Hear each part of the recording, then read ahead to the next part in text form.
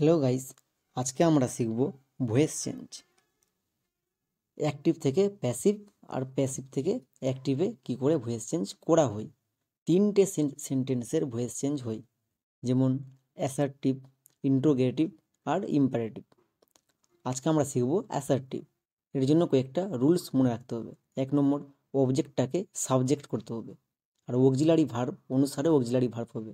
যেমন M M is আর যদি থাকে তাহলে সেটা হয়ে যাবে প্রেজেন্ট ইনডিফিনাইট ওয়াস ওয়ার থাকলে পাস্ট ইনডিফিনাইট সাবজেক্টের উপর ভিত্তি করে এসব বসবে।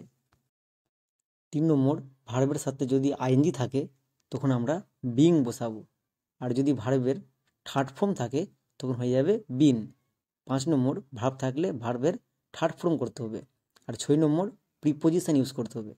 তবে নাইনটি পার্সেন্ট ক্ষেত্রে প্রিপোজিশন বাইককে ইউজ করা হয়।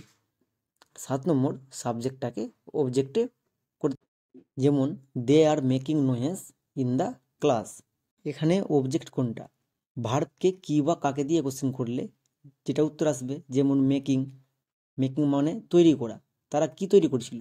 নোয়েস নয়েসটা হলো অবজেক্ট বা অবজেক্ট চিনার একটা সহজ উপায় হলো ভার্বের পরে এবং প্রিপোজিশনের আগে। তাই এখানে নয়েসটা হলো অবজেক্ট তাই নোয়েসটাকে বসিয়ে দিলাম। এবার এখানে অক্সিলারি ভার্ব হচ্ছে আর এটা এম ইজ আর যেহেতু noise third person singular number তাই এর সঙ্গে ইজ বসল।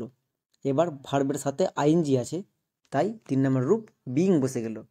এবার চার নম্বরে ভার্বের থার্ড ফর্ম থাকলে বিন হবে। কিন্তু এখানে ভার্বের থার্ড ফর্ম নাই, তাই চার নম্বরটা বাদ। পাঁচ নম্বরে ভার্বকে ভার্বের থার্ড ফর্মে নিয়ে যেতে হবে।